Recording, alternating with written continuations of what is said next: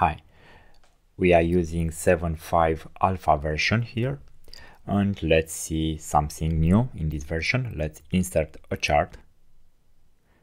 We have the default one and now we see the columns but we don't know what values they are.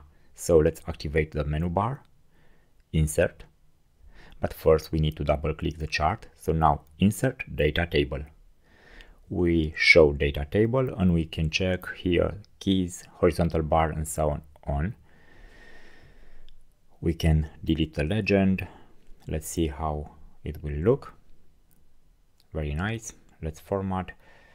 We can disable that or keys.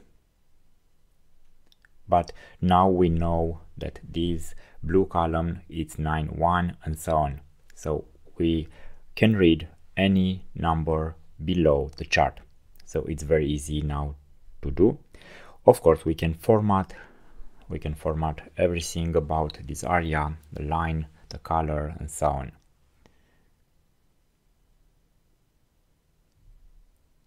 Let's activate the horizontal border, outline on keys and now we have the new color. Thanks for watching and please subscribe for more video.